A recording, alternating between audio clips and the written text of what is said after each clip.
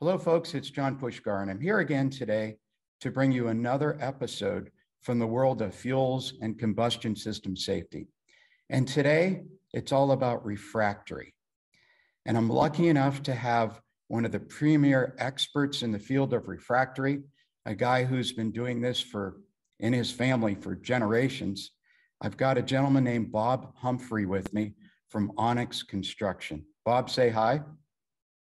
Hey, John. Thank you for the invitation. No problem. Over the last 40 years, I've developed and led fuels and combustion equipment safety programs for the largest manufacturers in the world. Today, I'm bringing you knowledge, insights, and best practices about fired equipment and natural gas safety. Over the next few minutes, you'll get the kind of practical, real life explanations that I've become known for.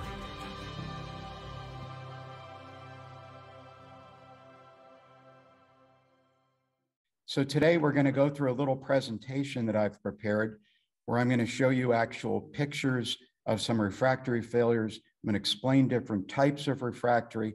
And today is really all about two things for you, the listener. Today's about understanding more about refractory, that uncool, unsexy part of every furnace, oven, boiler that frankly, although it's uncool and unsexy, we absolutely can't live without it. And today I'm going to communicate with you through Bob about some hazards and what the actual realities are of not recognizing these hazards. But coming out of today, you'll be better prepared to understand if and when you're in trouble and maybe what to do about it. So with that being said, let me take you to the presentation and share my screen here. And again, this is out of our Captain Obvious series. So, Bob, tell us a little bit first about yourself, Onex Construction, uh, what your sweet spots are in this industry, how long you've been doing this, a uh, little bit of a, a, commercial for you and Onex. Sure. John, thank, thanks again for the uh, opportunity to sit here and uh, have this discussion. I look forward to it. And I always enjoy talking about refractories. Um, as far as my own history, um, as, as you pointed out, that my father was in the industry. Um, he was a uh, on the brick manufacturing side with Kaiser and then National Refractories. And then, uh, so I sort of grew up in all the refractory hotspots in the world, um, traveling around from fire clay deposit to fire clay deposit. Um, so when I was done with school, wasn't sure which direction to go. Well, you know, it was one of those kids not 100% clear what I wanted to do, and uh, you know, stumbled into an opportunity with um, one of the one of my father's competitive companies, and it would have been AP Green Refractories at the time, and uh, you end up with an opportunity to be a serviceman for them in the steel industry. Uh, spent a year or so on a daily basis walking around steel mills, watching guys line ladles, counting brick, pouring castable covers, things like that for a good year, and then uh, worked my way into the sales side of things. So I did uh, the manufacturing sales from AP Green through Harbison Walker um, 17, 18 years. Um, you know, all of it in the sales function, whether it was a field sales or a sales manager. And then in 2013, decided it was time to make a slight change and went to work for um, one of my customers, the first contractors I ever actually on a uh, job site with. And uh, we've maintained a good, tight relationship here with uh, Ken Finnerty, who was the president of Onex. And uh, at some point, he'd asked me and said, Hey, why don't you come try this out? It was something in the back of my head I'd always sort of wanted to do. And it just, you know, the opportunity was there and it was, it was the right time for us, for my family and for myself. And uh, we made that transition and it's been, uh, it's been a, a, pleasure since being on the construction side. It's a completely Great. different. I, I thought I knew more about the construction side than what I did when I got here. So I learned really quickly that I didn't know a whole lot from gotcha. that standpoint. So, so when other kids were pushing dirt around the yard with little play Tonka trucks, your dad was bringing home refractory bricks and saying, you know, oh, here, yes. here, kid, right? Oh yeah, I learned how to stack a pallet of brick early, early on. Gotcha. So I'm showing here all the different types of refractory products that I know about. Can you just give us a, a, a brief overview of the types of refractory that are out there, how they're used? Yeah, sure, John. The uh, the primary um, selection refractories or, or, classification refractories are really you know, from my understanding, the way we've done it is you've got your brick, your, your brick side of things, and then you have your specialty side of things. You know, the, the brick side, it's pretty clear and obvious. You know, you've got everything from a high aluminum brick to insulation fire brick um, and a wide range of, of recipes depending on the application it's going towards. And then you've got specialties, and specialties encompass a much, much larger range of refractories. That would be your your insulation fiber, uh, your refractory ceramic fibers, um, castables, you know, everything from conventional, more concrete-like, cement-like materials to self-flowing, you know, high technology, um, uh, you know, specialties, castables uh, that include uh, gunite, gunning materials, shotcretes. Um, well, those are all just different ways to apply the, the castable. So some of you know, you've got the castable side of things, then you have rammed plastics. Um, you know, and, and, there's a number of rammed plastics. The, the plastic comes, it contains a, a, little degree of moisture already in it. And you're adding it to the wall in slabs and you're using air hammers to uh, drive it into place, to ram it into place into different shapes. Um, you have similar versions called dry vibe that uh, you, you sinter out with uh, temperatures. Temperatures add them. You, you, vibrate them into a shape. They have a little bit of moisture to hold that shape, and then you sinter them into place. And then you have um, what's another area we've got? Uh, we've got the different fibers, right? So, and the fiber itself comes in multiple uh, um, multiple forms, be it uh, rolled in a box like, uh, like like we have there in the picture. Um, in this particular design, that would be a wallpaper design furnace, the top right. Sometimes it's stack bonded. Sometimes they're fiber modules. Sometimes that fiber comes in form of uh, preformed boards. Um, so the, the specialty side of things is a much wider range and it's really intended to make the installation application a little bit easier, a little less, um, little less skill, I guess was probably the right way to put it, a little less uh, easier to install. It, you know, whereas a to turn a uh, you know, a cone with a brick is a, is a little bit of a challenge, and you need, you know, very skilled tradesmen to do that. Um, I can turn that same cone with a ram plastic, and you and me, John, could get out there and figure out how to do it and make it look good. So it's it's not the same skill set, but it also, you know, not the same life expectancy. So it's one of these things you're you're weighing, you know, the application, the the the contractors available to install it, and the and the overall time performance plus the cost of it. I mean, so it's these are all dollar cost average kind of scenarios you look at. Does it does it make sense well, for me to come in and repair something, you know, in a year or in five years? You know, and all oh, those are figured into the material selections. Okay, so in, in our prep talk we had, you said you, you you used a phrase that I thought was just wonderful. You said something about refractory is like engineered to fail or it's got an engineered life expectancy. Can you repeat that for me, please? Because it was a marvelous saying. for sure. So, so we always refer to refractories as designed engineered failure. Refractory is not permanent. No refractory is going to last forever unless you never use the furnace, in which case it'll last forever. So it is intended to fail. It is part of the process of your manufacturing process. Um, there are, you know, d- depending on the application we're in. In the steel industry, for example, there's a certain amount of, you know, there's a certain amount of material that you know that you're pulling from a steel ladle into that steel bath that's part of the chemistry of the steel. So there's it's all designed and intended to, to, to work together with the application. So gotcha. it's, you know, it's all designed to fail. It's just if you can control those factors and you you optimize that life expectancy, but there's still you know your half life where things start going down to where you're suddenly you know, and and and one more thing that just demonstrates how crazy this really is. And and the overall intent of this slide is to make you all feel like refractory is somewhat complex and there are many different types. But let me just tell you a little story about a recent client of mine. It's called kyanite Mining Corporation. Over about an hour and a half drive west in the mountains uh, outside of Richmond, Virginia. Kyanite is a very special mineral. And I'm showing you the bricks there on the left-hand slide. And you see the arch that's formed? I had never heard of kyanite before in my life Um, we helped them do an LNG project. They were burning oil in some of their process dryers and furnaces.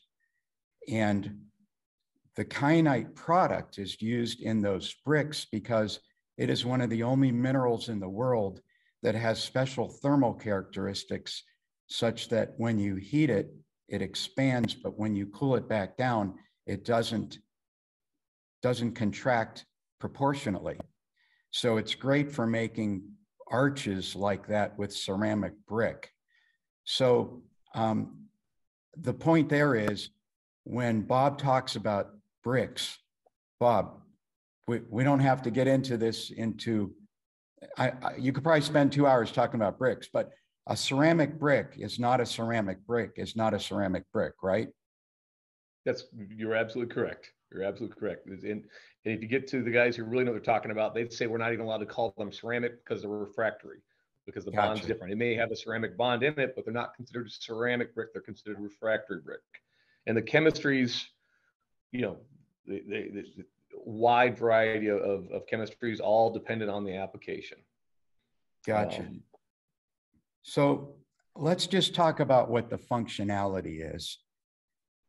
I like to tell people, well, you know, carbon steel starts to change properties like 850 degrees, a typical carbon steel beam, for example. And it'll start to change color.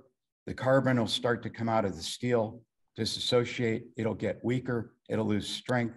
It'll start to warp. Um, eventually, you'll melt it. You'll burn through. And if you burn through a casing, and I know you've got some pictures that show that, that's kind of ugly. But if you burn through and start to impact the structure, you can collapse the structure. Um, I like to tell people carbon steel and refractory don't stretch, not the same coefficient of expansion or contra- contraction. So um, you start to break down the refractory, it kind of gets into a death spiral. You, you agree with that? Can you tell us a little bit about that? Sure. No, that's that's that's a very good point.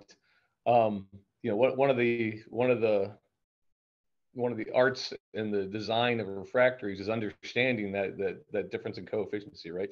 When it comes to expansion, you have to make allowance because they do not expand at the same rate. They're similar, but it's definitely not the same. I mean, I've seen applications where in a you know, the, the wrong amount of expansion was added into a wall, and that wall, the refractory itself, expanded more than the steel would allow it, and it actually, you know, drove the buck stays open, and you lost the entire wall on a furnace. What, It- what's a it's- buck it's- stay? The amount of force are are, are, are staggering. Pardon me, John. Tell us what a buck stay is. Oh, I'm sorry. The uh, the uh, in this in, in this particular case, it was the uh, the corner beams that hold the the corners and sides of the uh, furnace, and then you have rods that run over the top to hold it in place. So it's not a steel shell, but you have, let's say, you would have six beams running down each side. Those would be buck stays, and then you have beams over top that that allow it to sort of flex and move as it grows and heats up. But it's to a very specific expansion allowance, and if it's not calculated correctly into the refractory lining, um, you'll you'll exceed the ability of, the, of those buck stays to move, and you'll drive it out, and you lose compression on your wall, and your entire wall can collapse on you. So the best way to destroy refractory for an operator of a furnace is what? There- There's so many ways. They're so I good understand. it. Gi- Give Um, us some of your favorite. So, well, th- th- let, us let's take it the other way, John. Let's the best, the most successful way to run refractory refractory lining is to get it hot and leave it hot. If the if the the less stresses that I can put in a refractory lining, the but the longer that refractory lining will last. So And the more, stresses, I more mean- startups and more startups and shutdowns are just kill you. Every time you start up and shut down, you you that is that that is that engineered designed engineered failure. You are cracking that lining. You might not see the fractures, but they're there. But that's that's part of the thermal cycling. So you have, you know, the thermal gradients within a lining temperature. Um, that alone causes stresses, and now as it heats and cools, those stresses are are tested and push the refractory to its to its abilities, right? And as it's every time it shrinks and contracts, it's adding additional stresses in there, and that's when things start to crack. A lot of furnaces you'll see as they're cold, Um, someone who doesn't know what they're looking at might walk in and see a cracked wall and a lining and, and be completely panicked that they have a crack in their furnace wall. Doesn't doesn't matter because as they heat it back up, that refractory is going to expand back out, assuming it's the right refractory, and it, it will expand out and that, that crack will close up in process.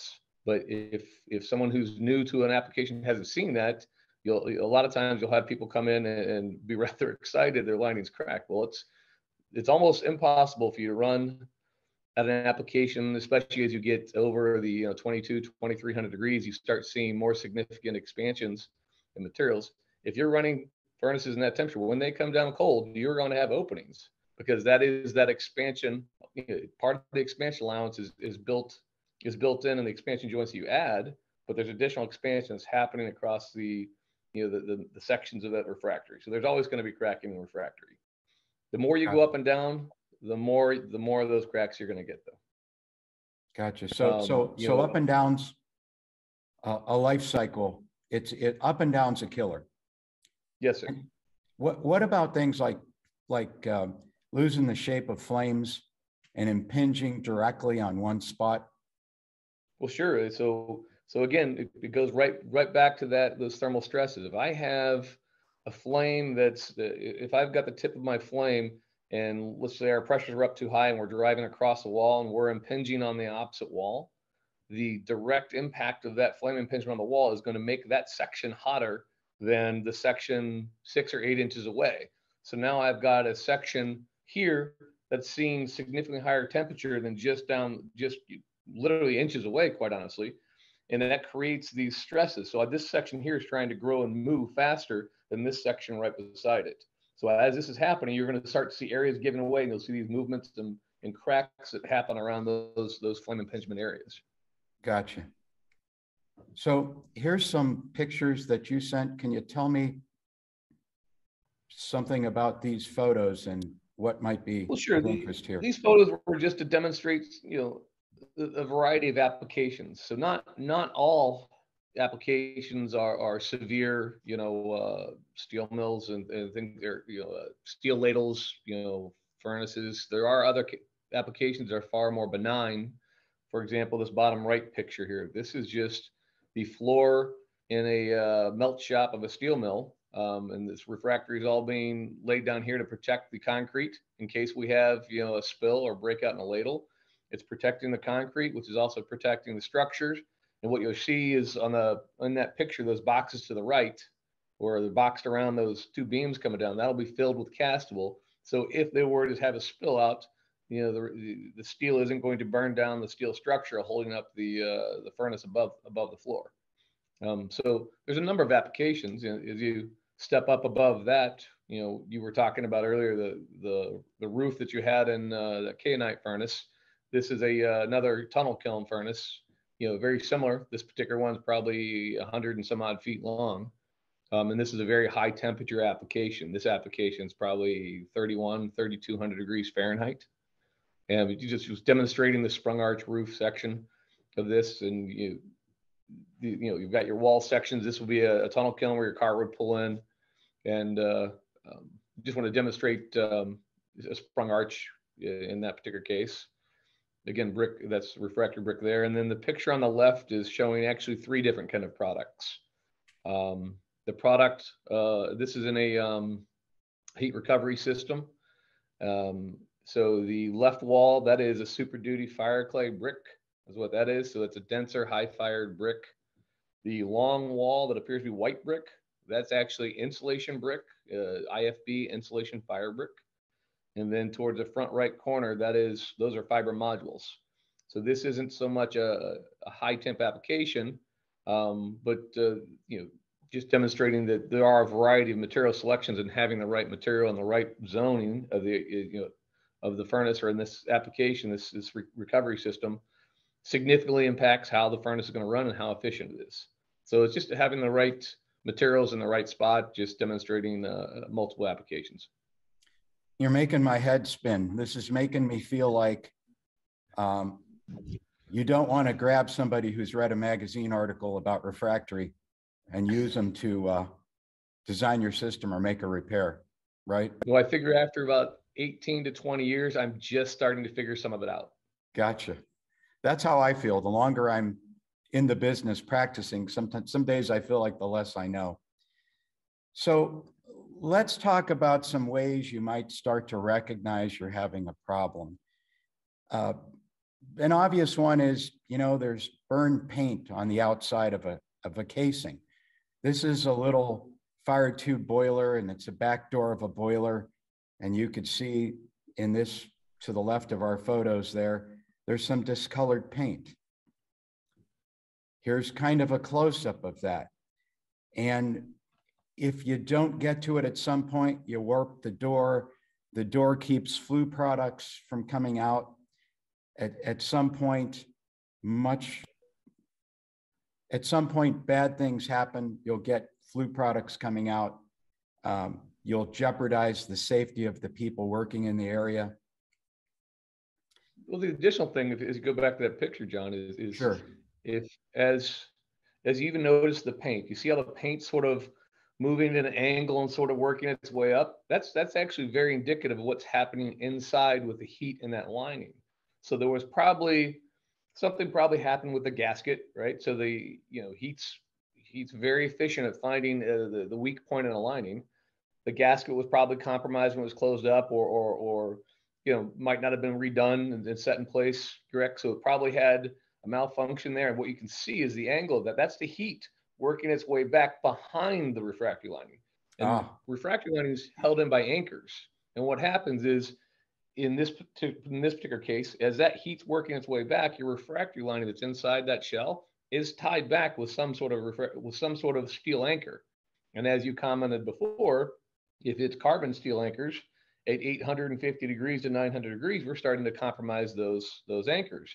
And as they start to fail, your lining fails and pulls off. You, you, you literally pull giant chunks away off the lining because the anchors are what's holding it in place.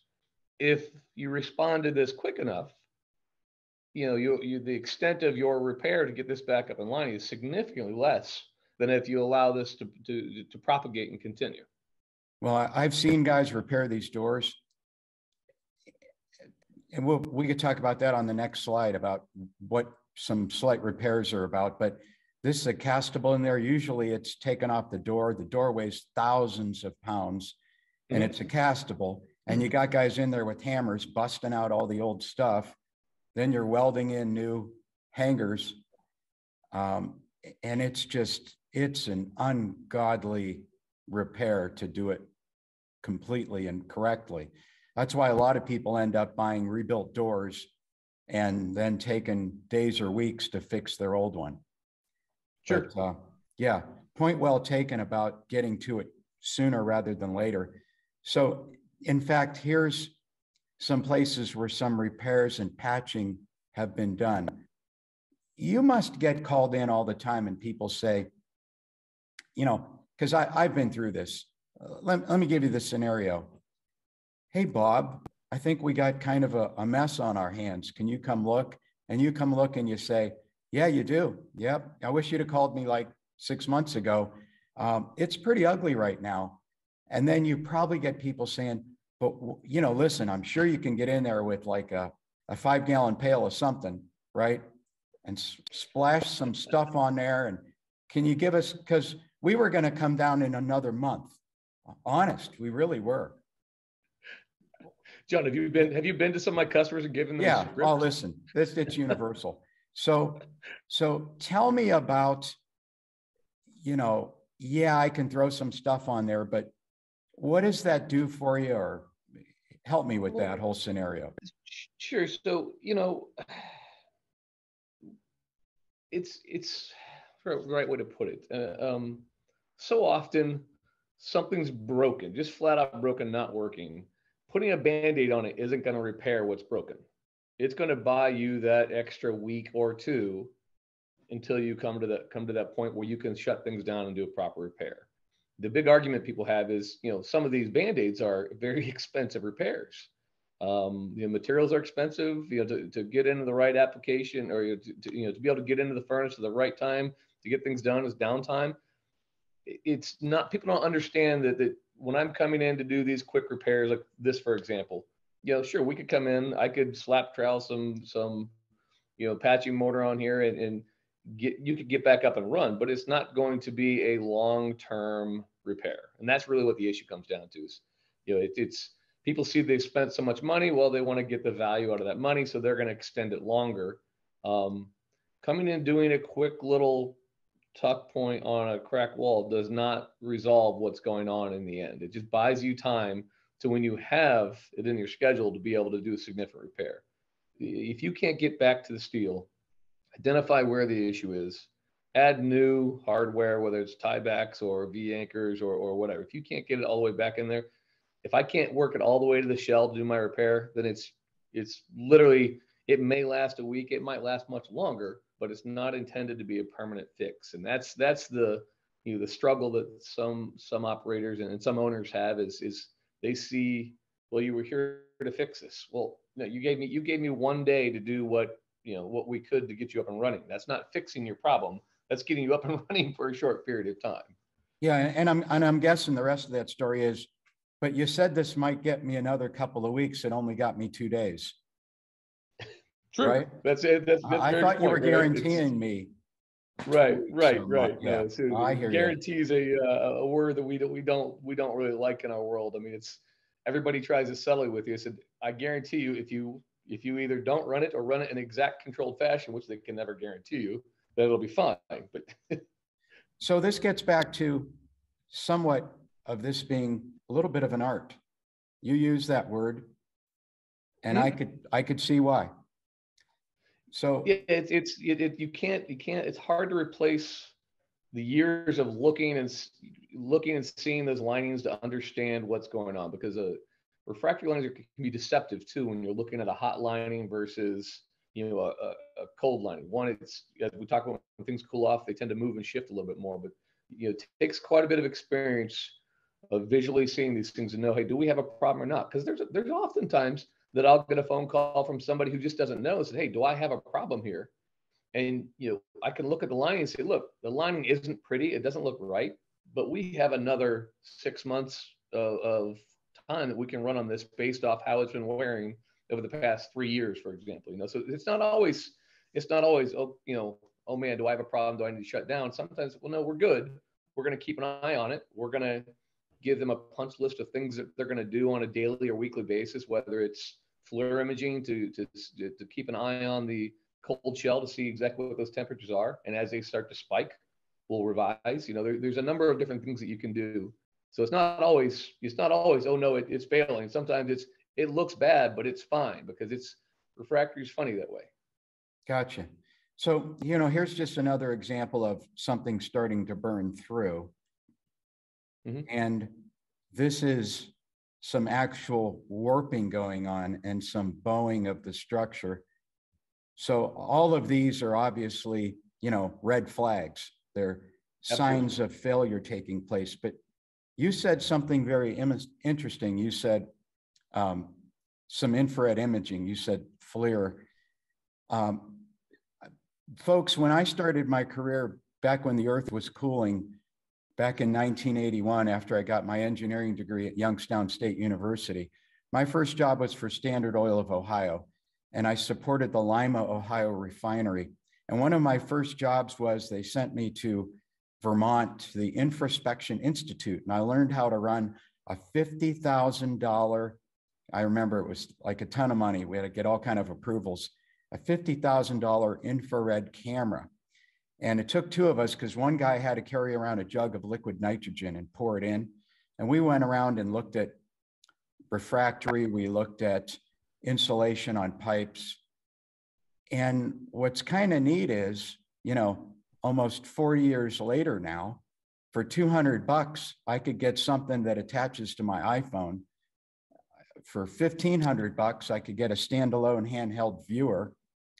And I can't do quite as much as what I did with the $50,000 camera, but still I can do a whole lot for hundreds of dollars now. So I think what you're telling me is even before something gets to, sorry, I'm going the wrong way. Even before something gets to this point, I can do some preventive maintenance, I believe, right? Or I can have a program, an inspection program internally. And it, it doesn't take a genius or rocket scientist, right?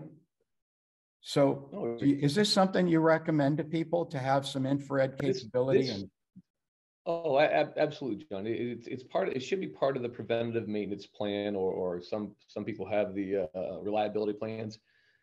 Uh, To your point, you don't have to be an expert to understand and track this information. This is just a matter of collecting data, right? So if, if on a regular basis, I'm walking around this furnace and I know what my baseline is with, with a new or, or, or, you know, average life, you know, average performance of my furnace, and I know what those temperatures are at by doing things like walking around fluoro imaging.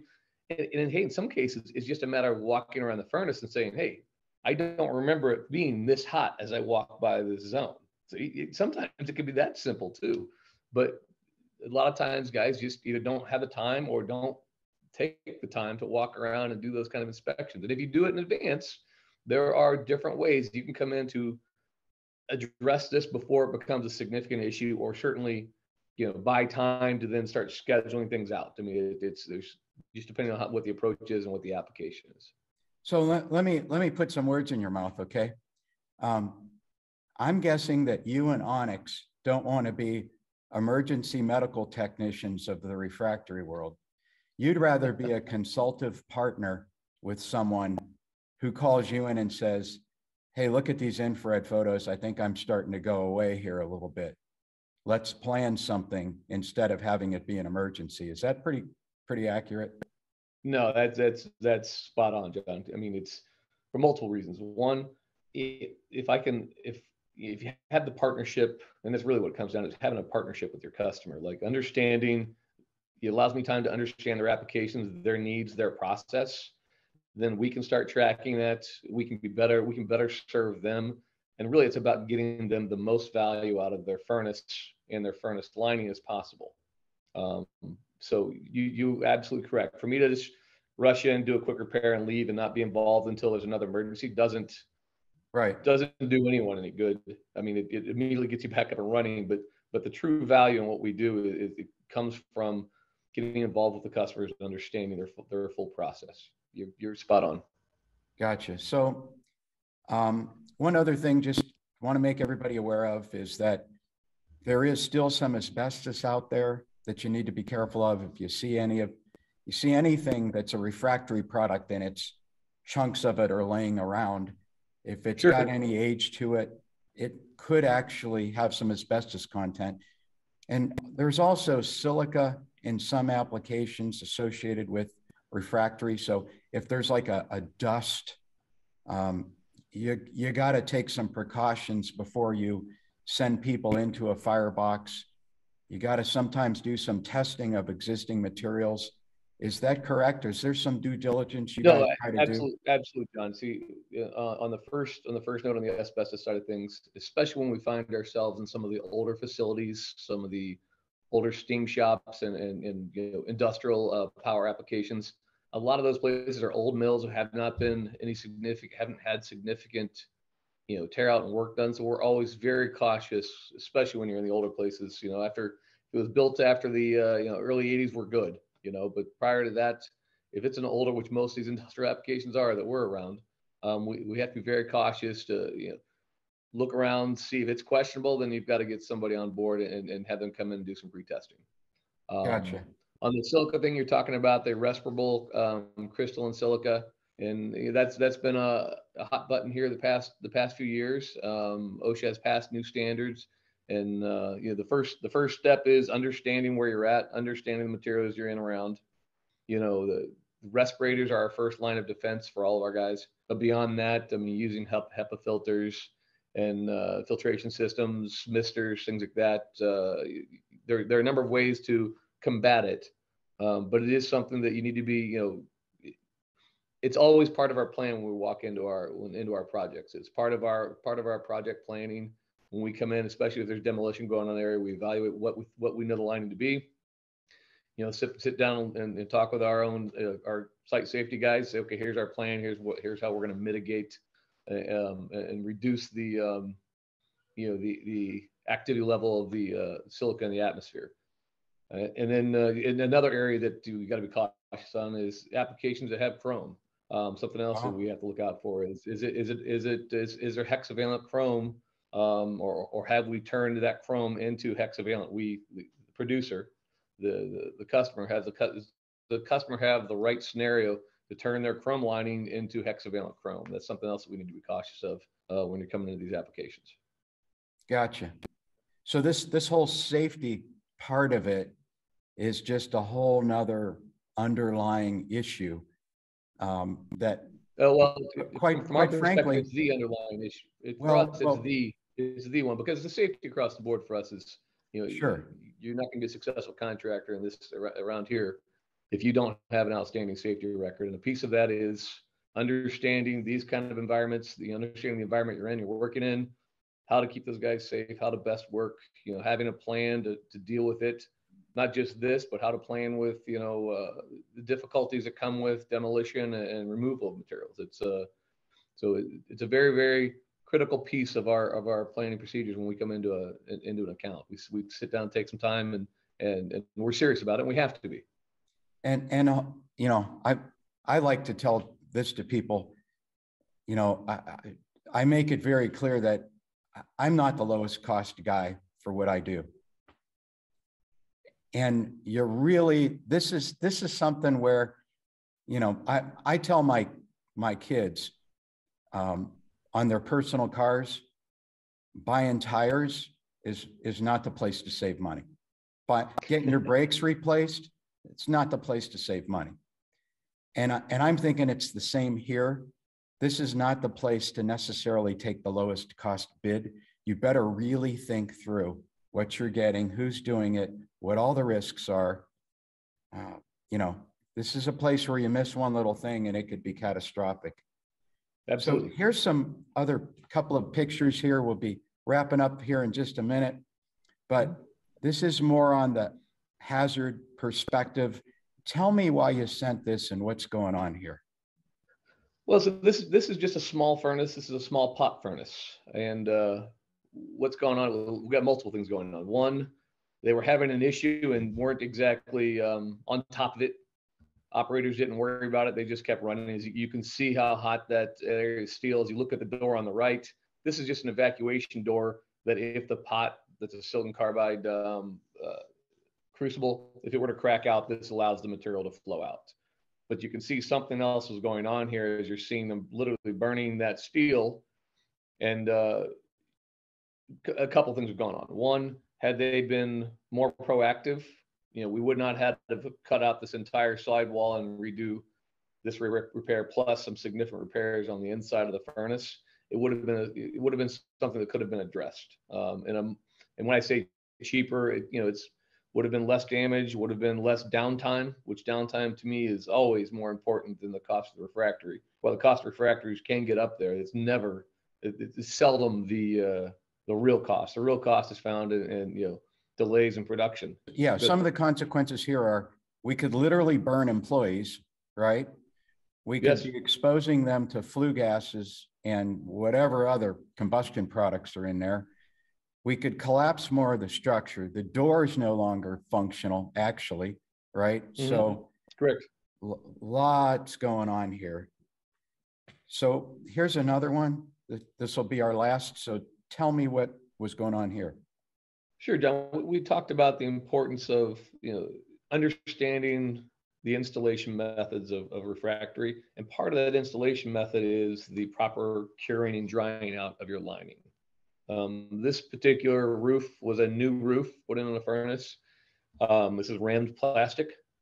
And uh, the customer decided that they would manage the dry out themselves um, in order to save save a few dollars. Because we you know, we use outsourced companies if that's what they do for a living. They they they fire out furnaces all over the world. Um, so we, we So, tend to defer to the experts. Hold on, hold on there for just a second. Let's, let's educate folks about what refractory curing and the dry out process sort of is. Sure. Good point. So, so my understanding of it is, is that you put this material in, but based on the chemistry of that material and the geometry of what's going on, um, it might be take it to a certain temperature, hold it there for a few hours, ramp up to another temperature, hold it there for some number of hours. And it could be like even a day or two, right? Oh, sure. Well, in some in some applications, it can be weeks.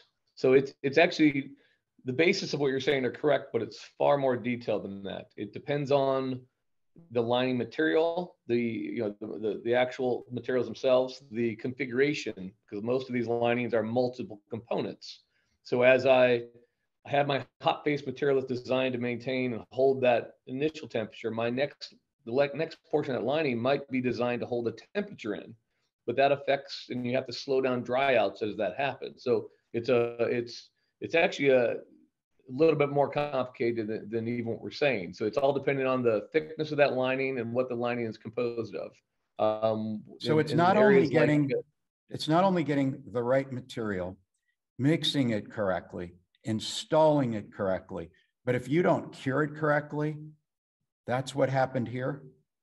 Yes, sir. That's exactly what happened here. So we, it's this was this was a ram plastic lining, and the customer said, "Hey, we we've done this before. We're going to fire this out ourselves." Not a problem. You know, they save their, you know, the, the cost of their dry out. Unfortunately, as you see in that picture on the left, where the flame is at, kind of a lazy flame there. What uh, what was happening in their low fire, of the initial part of their heat up? These burners are designed to to drive heat, so they're usually a pencil. Uh, you have the pencil tip, you know, uh, a flame coming out, or the, or the candle wick. I'm sorry, you've got the candle wick blowing straight across the furnace but at low fire, it tends to lick up and it doesn't have enough volume coming out. So in this particular case, that we were getting the direct impingement of the flame in that section of the, uh, roof there, and it caused that area to expand out, seal off. And as it started to heat up and the moisture had to be pushed out of the material, it uh, this is what this is what results. This is this is a typical steam spall is what this is. So we literally the flame had dried out the very face of it, but not allowed the moisture to drive all the way out of the lining because of the flame impingement there. As it started going up in heat, it creates the uh, um, as we as we convert the water to steam that's in there. It's uh, extremely expansive. I, I forget if it's 10 times the expansion rate, somewhere in that kind of rate, and extremely high pressures, and it, it releases. In this case, it released down because it was the, the, the least path of, you know, path of least resistance in this section. So water water changes volume sixteen hundred to one. There we go. Not ten times, sixteen hundred. Okay. Yeah, I, no, that's all right. That's my whole life. So uh, you stick with refractory, I'll stick with water. But fair enough. But we talked about this a little bit in our pre-work, and in fact, I told you about um, a mutual client of ours where they were doing an aluminum scrap recovery uh, vessel. And mm-hmm. I got called in because there was a horrible explosion and they thought it would, might be a combustion explosion. The stuff in the bottom of this vessel was like 18 inches thick. And it, it you know, it's kind of a concrete. I'm, I'm sorry. I know that's offensive. Sure. it's, it's kind of a concrete. And they have to have left weep holes for the moisture Correct. to get out of and mm-hmm. the curing job didn't go properly. There was a horrible explosion, and it was like sending chunks of sidewalk up over everyone's head. I don't know how no one got killed or injured. It was mm-hmm. just luck. But what I hope this does for you is I hope you sit up and take notice and say to yourself, wow, okay, number one, refractory is nothing to mess with. Number two, even the curing of refractory, my opinion, certain situations. It's another thing that I say is not a spectator sport. Mm-hmm. Depending mm-hmm. on the job, if you don't have to be there, don't be there. Minimize the number of people around. And number three, um, it's an art. Your best shot is with somebody like Bob and his company who do this all over the world, have a wealth of experience. Um, you can get in big trouble with refractory. I hope you've gotten that message out of what we've presented to you here today. I don't know of any of my clients who have the luxury of having furnaces or ovens or boilers down for an extended period of time. I hope you can see here that that can easily happen. So, uh, John, one of the things I like to point out to my customers, when they select a material, they're selecting a material based off, you know, the, the, the technical data sheet, right? That data sheet showing, you know, the intended properties and, the, and, and you're buying what's on the sheet. To get those intended properties, you have to have the proper installation, the proper water addition for castables, you know, the, the, the proper ramming process for ram plastic, you know, the brick need to be set in a proper fashion. And but to also to to to to optimize those properties, you need to have the right dry out. Without that right dry out, it affects the final properties of what's in, of what's being installed.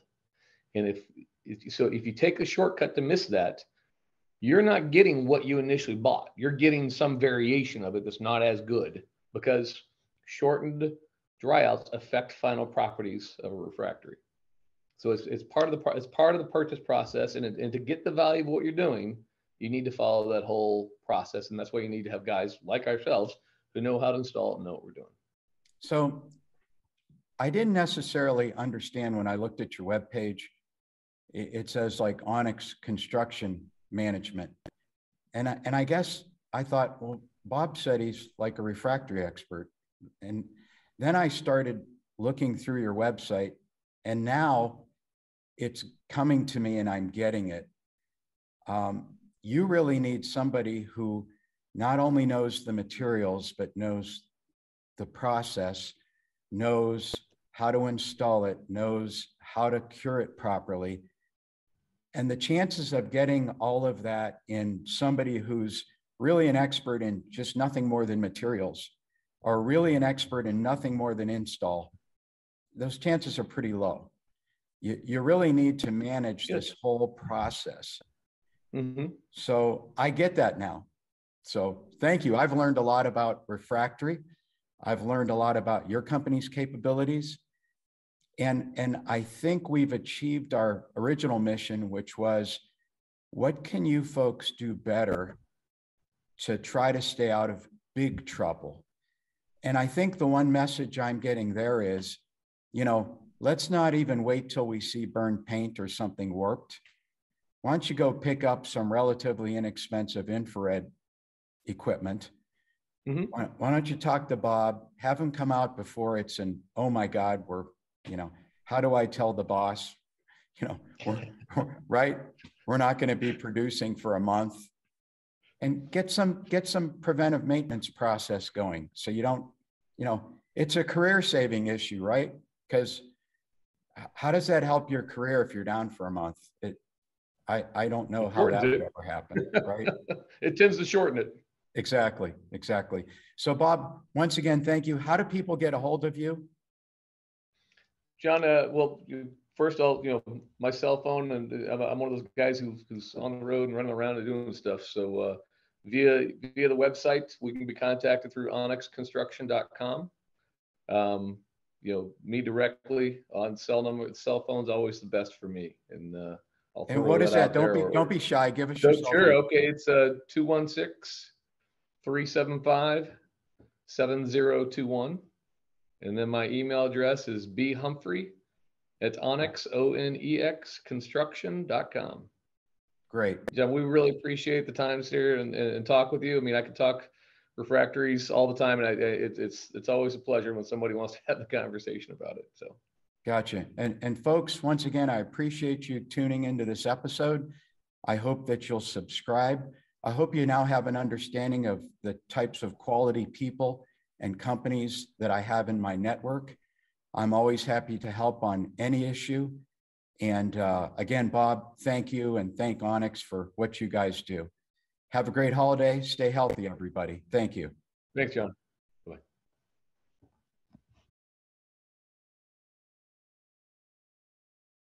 Hi, it's John Puskar. I hope you found this episode useful. If you'd like to know about more ways that I can help, you can check out my website at www.prescientts.com. There you'll find information about the Prescient Technical Services Online School, my book, Fuels and Combustion System Safety, What You Don't Know Can Kill You, and also about some of the consulting projects that I've been providing to clients for the past 40 years.